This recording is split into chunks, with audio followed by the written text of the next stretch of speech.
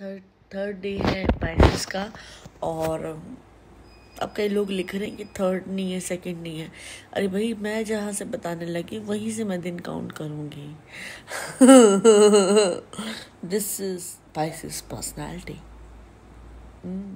Pisces personality Pisces are extremer कभी भी Pisces personality आपको मॉडरेट नहीं मिलेगी एक्सट्रीमर होगी। या तो वो बहुत ज़्यादा प्यार करेंगे या बहुत नफरत करेंगे। बहुत सपनों में होंगे या बिल्कुल नहीं होंगे।